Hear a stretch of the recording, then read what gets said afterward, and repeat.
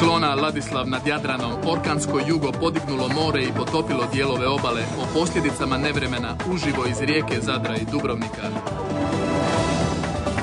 Blagdan je svih svetih, dan sjećanja na naše mrtve, uživo iz Varaždina s jednog od najljepših groblja u Hrvatskoj.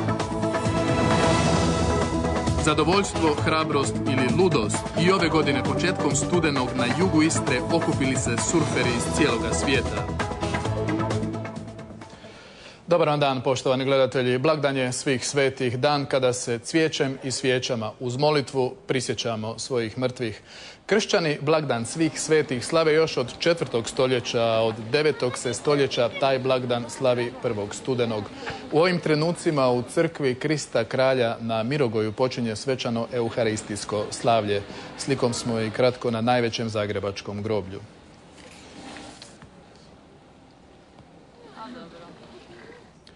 A iako kiša otežava dolazak mnoštva ljudi na groblja diljem zemlje, ona su i ove godine prepuna cvijeća i zapaljenih svijeća.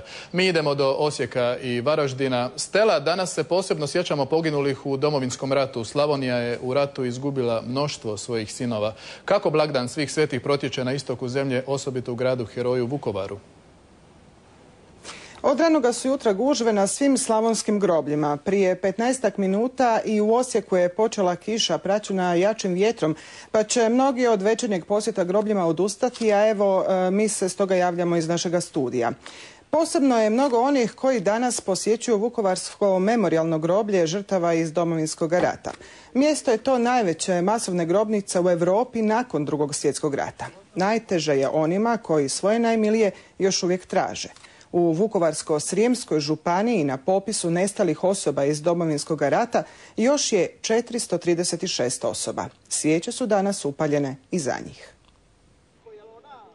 Ima trenutaka u životu kad je tuga jedino što imaš. Obitelj Bumbar naučila je nekako živjeti bez Stjepana, ali srce je prazno. Ubijene na Trpinskoj cesti hicem i snajpera. Naišli su na, na tu na neprijateljsku vatru i onda iz zasjede on je jadan ono povjerivo i valjda ga ovaj doček koji direktno u glavu. Svi oni ostavili su u ratu svoju mladost, djetinstvo prve ljubavi. Oči pune tuge gledaju sliku voljenoga sina Zvonka. Srce se stislo, hoće iskočiti. Teško je, šta da vam kažem. Zaboraviti se ne može najgore nama roditeljima. Osobno 20. mislim taj dan, smo ga mi vidli u škrini.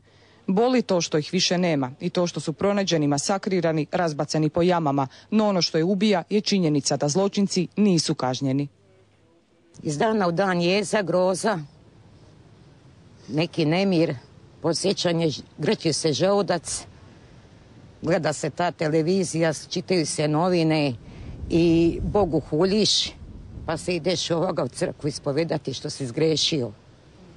938 bijelih križeva tu su da podsjete na pokolj Hrvata, najveći u povijesti, a zločin ne zastarijeva i krvnici imaju svoje ime i prezime, još da ih samo pravda sustigne. A idemo sada na jedno od naših najljepših groblja, ono u Varaždinu. Ivice, mnogi koji dođu u Varaždin ne propuštaju obilazak vašega groblja, no zasigurno je poseban doživljaj obići ga upravo na današnji blagdan. E, upravo tako, večeras je hladno i lagano kiša sipi, ali možete vidjeti da tisuće varaždinaca su došle da posjete grobove svojih najmilijih, da zapale svijeće i položne cvijeće, te da se prisjete trenutaka kad su bili s nama. E, kod centralnog križa u ovim trenucima se odvija sveta misa. Tamo građani mogu zapaliti svijeće za sve one za koje se ne zna gdje im je grob. Da, nama varaždincima tepaju da imamo najljepše groblje u Europi. Kako i ne bi kad je poznati arhitekt Herman Haller prije dva stoljeća ovo groblje i kreirao. Više o samom groblju možete vidjeti u prilogu kolegice Danijele Bratić-Herceg. Iako možda neobično zvuči da groblje ne pruža smiraj samo mrtvima, već su njegove aleje i ozračje posebno ugodne živima, Varaždinsko groblje upravo je takvo. Ono je pravi primjer parkovne arhitekture i jedinstveni spomenik prirode, te zaštićeno kulturno dobro. A sve to zahvaljujući hrabroj ideji Hermana Halera, ravnatelja groblja, kojega je 1905. godine počeo uređivati u stilu francuskog parka. Njegov koncept sadnje oko 10.000 raznih biljaka te šišanja i uređivanja tuja, Varaždinsko je groblje pretvorilo u jedno od najljepših u Europi. nešto posebno što treba njegovati i dalje i da naše buduće generacije vide kako je to krasno. Neka najljepše, živi park, divota. Tu dojdeš da se čak i odmodeš. Dok šećeš, divota, lijepo je. U ljetne dane kad je ono lijepo, mirno, onda idemo se prošetati, a odmah usput i obiđamo. Jako lijepo mi je, mislim, jako lijepo. To ne samo da idete na groblje, nego kad idete šećete, mislim, jednostavno sjećate se svih, ali lijepo je. Ne. Meni se sviđa, jako lijepo. Ja sam prvo 40 godina vani, bio sam sve posud po celoj Njemačkoj, ali tako groblja redko da vidite. Svoj vječni mir ovdje su našli mnogi znani i neznani varaždinci, a brojni nadgrobni spomenici umjetnička su dijela poznatih hrvatskih kipara. Zbog svih svojih osobitosti, ovo je groblje nezaobilazno i na turističkoj karti, na što su varaždinci s pravom ponosni. A u Hrvatskom Zagorju, osim na grobljima, na blagdan svih svetih, pale se svijeće i polažu vijenci kod spomen kuća dvojice bivših predsjednika Franja Tuđmana i Josipa Broza.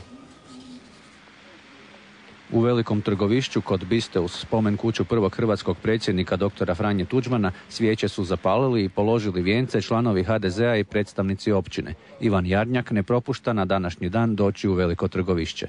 Danas je upravo 13 godina kako je pokojni predsjednik otišao u bolnicu i nije se više vratio. Uvijek ćemo doći ovdje. Svakim danom sve više kako vrijeme odmiče, lik i dijelo, čovječnost ljudskog, ljudskost, politička vizija pokojnog predsjednika svakim danom sve je veća. Mi smo ovdje doma, uvijek ćemo biti ovdje uz njega. Samo 15 km dalje, u Kumrovcu, crveni lampioni i cvijeće kod spomenika bivšeg jugoslavenskog predsjednika Josipa Broza. Iako su svi sveti vjerski blagdan, svijeće se prvog studenog komunističkom vođi pale već 30 godina. Kumrovčani tvrde, Tito se ne bi bunio. Rekao bi ko svaki Zagorac, veli pa kaj ste živom čovjeku došli zapaliti sveće. Otprilike tako. E, sam je, sam je bio zaista duhovit, sam je znao ovaj, izaći iz protokola, e, vjerujem da bi i danas sasvim se slagao s ovim što mi danas činimo. Iako muzej Staro selo danas ne radi, u Kumrovcu kažu da će do kraja dana kod Titova spomenika sigurno zasvijetliti i novi lampioni.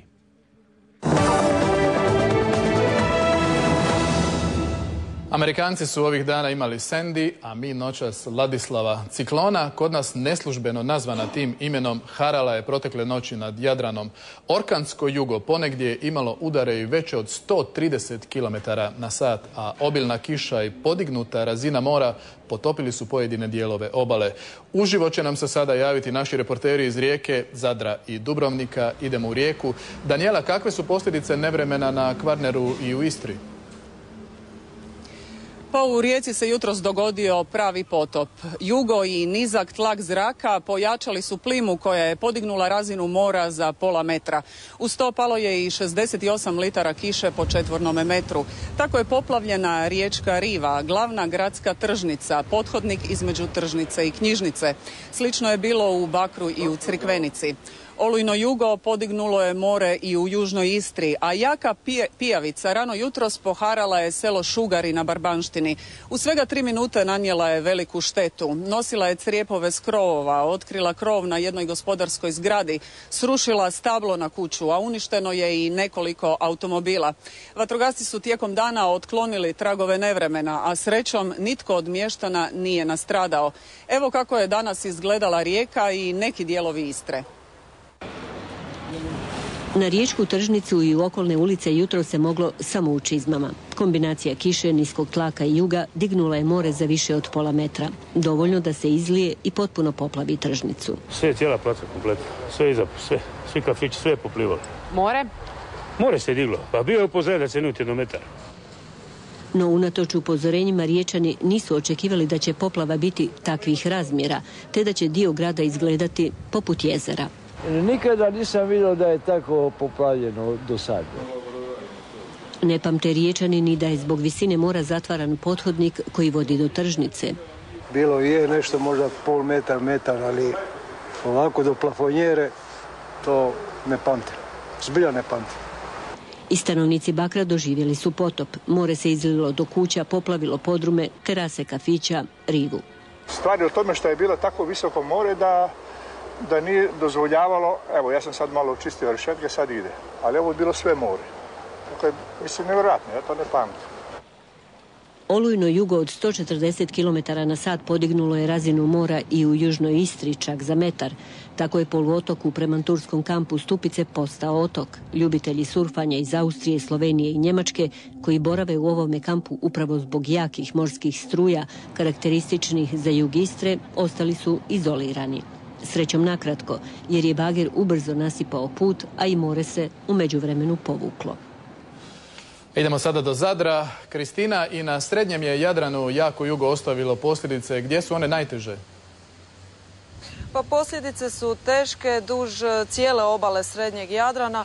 U mnogim su mjestima uz more poplavile kuće i podrumi. Štetu su pretrpjele i neke benzinske crpke i neki ugostiteljski objekti, ali također su oštećene i mnoge brodice.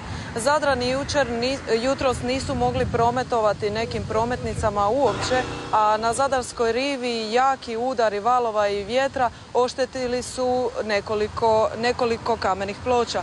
Srećom, more se sada polako povlači. Međutim, meteorolozi upozoravaju da bi ovakvih plima ove zime moglo biti još više u prilogu kolegice Ivone Ramađe. Izlilo se mora u Novigradu i nije to rijetkost, kažu novi građani. U 13 godina s poplavom se obračunavaju 20. put, no ovako ne pamte već godinama. A u strazu s bujicom sredstva se ne biraju. Metnula sam cigle da frižider mi ne ode i da mi krevet, a sad drugo ne znam ništa. Kaos je Ladislav izazvao i u Zadru, poplavio prometnice, usporio promet u gradu. Orkansko jugo obrušilo se i na cijelu Šibensko-kninsku obalu.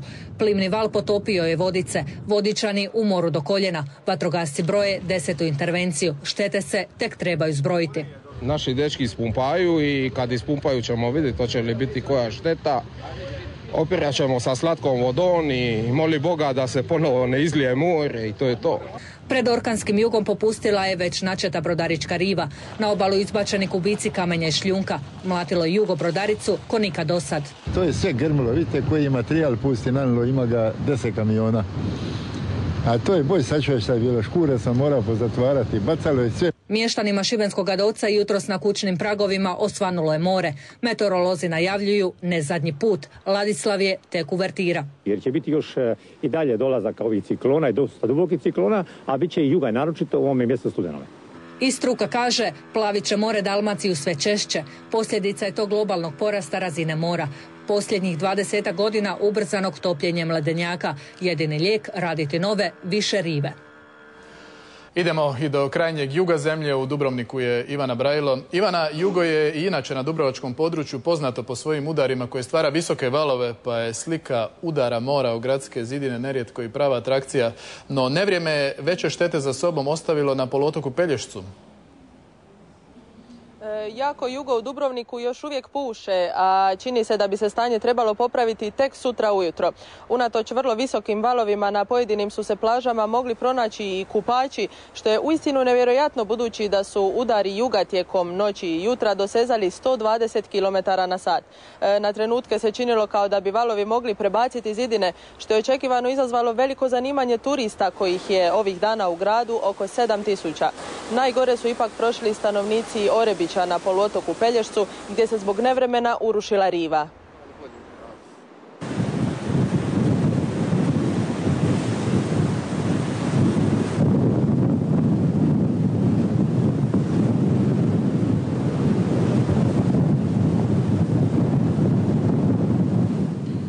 Tragovi nezapamćenog nevremena na svakom koraku. Uz orkansko jugo te velike valove podigla se i razina mora, pa poznata šetnica u Orebiću nije izdržala. Koliki su valovi bili? To je, sačuvajte Bože. Prilivale sve preko mula. Istodobno poplavljeno je i nekoliko kuća. Valovi su prebacivali s jedne strane ceste na drugu. Stanovnici ove ulice na nogama su od pet ujutro. Ispumpavali su more i smeće. Cijela geta je bila napunjena vode. Evo vidite sami e, razinu smeća koje je more nabacilo u ulicu bilo je do tu, znači ušlo je u jednu kuću, u drugu kuću, bilo je u kućama 10-15 senata mora. Donja obala, duga kilometar i pol, urušila se na desetak mjesta.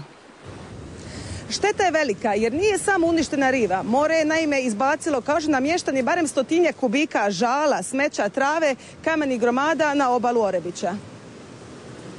U ljetnim mjesecima zbog prometnih gužvi u trajektnom pristaništu ova je cesta iznimno frekventna. Općinski načelnik nedavno je Hrvatske ceste upozoravao da je cesta zbog toga, ali i prijašnjih nevremena u lošem stanju. Općina Orebić u proračunu nema dovoljno sredstava za njezinu sanaciju.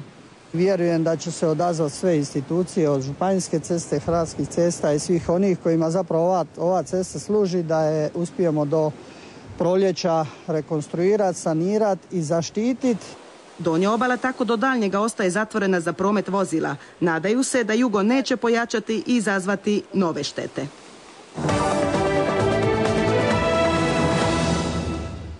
Rt Kamenjak na samome jugu Istre poznat je, osim po iznimno čistom moru i plažama, i kao raj za surfere. U ovo doba godine na Kamenjak stižu iz cijeloga svijeta na natjecanje poznato kao Hello Wind.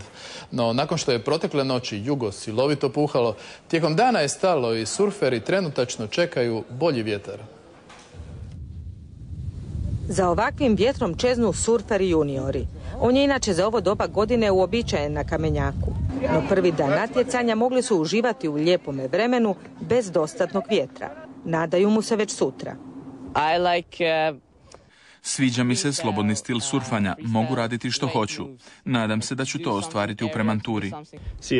Prvi put sam ovdje, premantura mi se sviđa. Zašto? Čuo sam da ima puno vjetra. Jučer smo prošetali poluotokom i predivan je. Ert Kamenjak nije slučajno odabran za mjesto europskog natjecanja za mlade. Uh, Kad organiziramo surfanje za mlade, uvijek odabiremo jedinstvene lokacije. Premanturu sam upoznao prije sedam godina, kad smo ovdje imali svjetsko natjecanje. Vodeći ljudi javne ustanove Kamenjak su organizacijom ovakvih natjecanja žele produljiti sezonu posjeta tom zaštićenom području.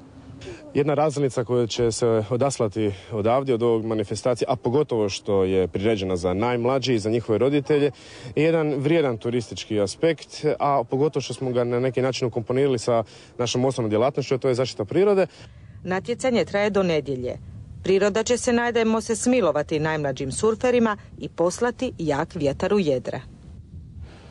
Ovoga produženog vikenda čeka nas iznad prosječno toplo i promjenjivo vrijeme. Ostanite uz prognozu Borivoja Čapke i županijsku panoramu. Dobar vam dan, koji je zbog jadanske ciklone u većini krajeva bio prilično kišovit, a naročito na Kvarneru gdje je u kombinaciji s jakim jugom, niskim tlakom te plimom došlo i do značajnog podizanja morske razine. A sutra će ta ciklona oslabjeti, no zadržat će se promjenjivo vrijeme, ponegdje s kratkotrajnom kišom. Današnji u Slavoniji jak jugoistočnjak nakratko će okrenuti na sjeverac, ali će i dalje ostati razmjeno toplo. U središnjim predjelima kiše će biti manje nego danas, a uz promjenjivu naoblaku očekuju se i sunčana razdoblja. Vjetar većinom slab, a i dnevna će temperatura zraka malo porasti. U Gorskoj Hrvatskoj, kao i na sjevernom Jadranu, sutra će također kiša biti slabija, ali i dalje nešto češća nego drugdje. U Goriju vjetar će oslabjeti, dok će na moru jugo okrenuti na umjeren i jak jugozapadnjak. Temperatura zraka malo viša.